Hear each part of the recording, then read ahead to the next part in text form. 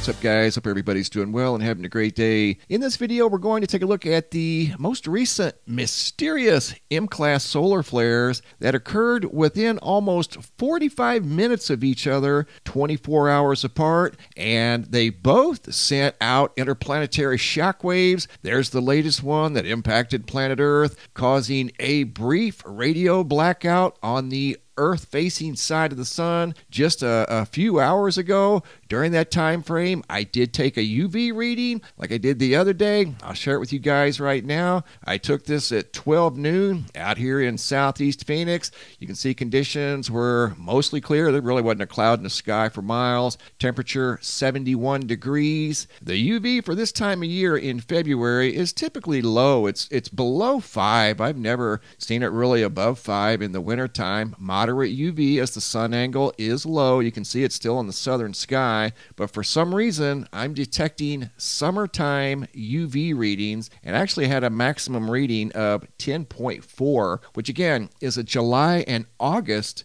type of UV for out here in Arizona. But for some reason, and reasons that are unknown at this time, it could be a variety of reasons, the UV is, according to my instrument, more than twice what it should be for, for this time of year. Also, in this video, I've got a brand new picture slideshow, new sky phenomena photos, sent up all around the world. Want to come back to the website? Posted a, a new photo today from Mark out of Kansas. And this is from a moon a few months ago, but he took an incredible photo from Kansas and shared that with me. I wanted to share with you guys. Quick look the Schumann resonance. You can see there's been an increase in activity in the last 24 to 48 hours, just like there's been a, a bit of a mysterious increase in the GOES X ray flux in the last 24 hours. I mean, what are the odds of a M class solar flare occurring yesterday at 1731 universal time and then today on the 15th yet another same strength M1 class solar flare, both creating interplanetary shock waves. This one today occurring at 1815 Universal Time. They were almost exactly at the same time. As you can see here on the map, if you just looked at this graph, you would think that they occurred at exactly the same time. 24 hours apart. It's almost as if something's on a 24 hour cycle influencing the sun. Looking at the planetary K index, quiet right now, and look for that to change here in the next day or two as the CME associated with the interplanetary shock wave arrives here at Earth. And this is where it originated from, right here on the, the northwestern limb of the sun. And I had somebody ask me a couple of days ago if this was indeed like the eastern side and the western side. And that is correct to the best of my knowledge. When we're viewing the sun with this instrument, I've always known this to be the east side over here on the left, and this would be the west on the right hand side. Hopping over to the Yellowstone supervolcano caldera, looking at the seismographs that monitor the mighty supervolcano. A little bit of earthquake activity in the last 24 hours over here at Parker Peak. Everywhere else is pretty quiet with regard to, to small earthquake activity. A little bit of magma intrusion, but that's what we've been seeing now for the, the past several months. Something else I'm monitoring of interest in the southern Indian Ocean. You can see now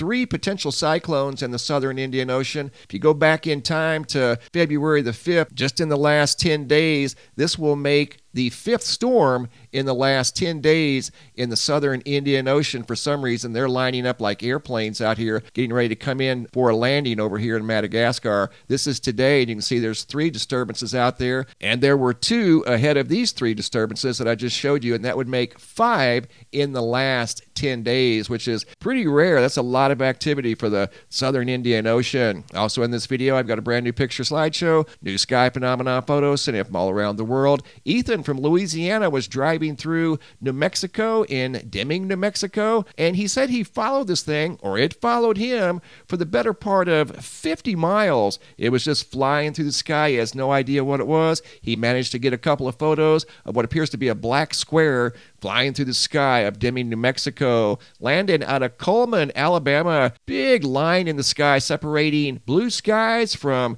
thick clouds. Same type of phenomenon over in Lebanon, Oregon. Video sent sent in by Matt Jen from Oregon, who noticed almost the same exact sky several thousand miles apart. Also received some more photos out of the Ozarks in Missouri, sent in by Aurora, Missouri, of the unique sky involving the fuel dump and a recent SpaceX rocket launch back on January 31st of 2022. More incredible photos of that thing propelling through the sky. It looked like a, a giant glowing propeller moving through the sky. Tina out of Arkansas fiery orange sky at either sunrise or sunset. Got some big light beams up in the sky in Ontario, sent in by Sarah O. The temperature has to be very cold for this to occur. And when it does occur, it's actually kind of rare. You don't see this very often. The atmospheric conditions have to be just right, and it has to be super cold. Going up to the International Space Station, Mary Hall noticed something unique out over the South Atlantic Ocean, something that looked like a filament inside of an electric oven. You guys ever see those black filaments inside of a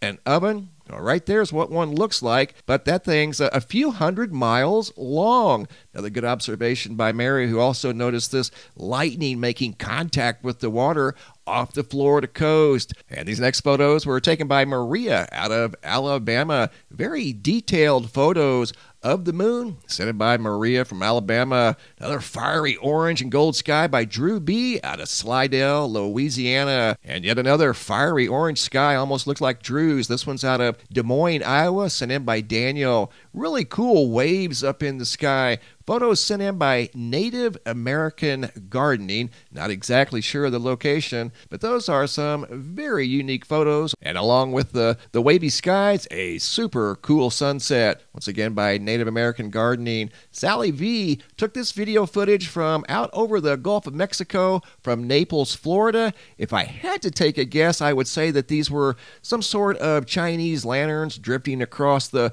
the Gulf of Mexico, but not 100% sure. Those are very bright. Good video by Sally V. And here's something that doesn't happen very often. I got two people that don't know each other that noticed the same sky phenomena above Wisconsin. First photo was sent in by Trudy from Neenah, Wisconsin. These go back to February 13th. Noticed a big halo in the sky around the moon. It was also noticed by John from Green Bay, Wisconsin. Also on the night of February 13th. Great job, guys. Keep the, the photos and videos coming. If you have any photos you'd like to share, you can send those to reports at MrMBB333.com. Thanks for watching. Have a super day and be safe out there.